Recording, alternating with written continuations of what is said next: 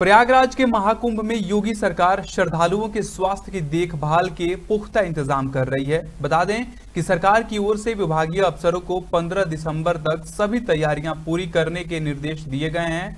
विश्व के सबसे बड़े सांस्कृतिक आयोजन में आने वाले श्रद्धालुओं के लिए बाकायदा एक्सरे, एमआरआई, लैब टेस्ट की भी सुविधा रहेगी। स्वस्थ महाकुंभ को नव्य और भव्य रूप देने के लिए स्वास्थ्य विभाग ने 10 लाख ओपीडी और दस हज़ार आईपीडी तक की क्षमता की तैयारी पूरी कर ली है। इसके साथ ही श्रद्धालुओं के स्वास्थ्य की जाँच के लिए हाईटेक अस्थायी अस्पताल बनाए जा रहे हैं, जिसमें रायबरेली एम्स के चिकित्सकों की टीम भी लोगों की देखभाल के लिए मौजूद रहेगी।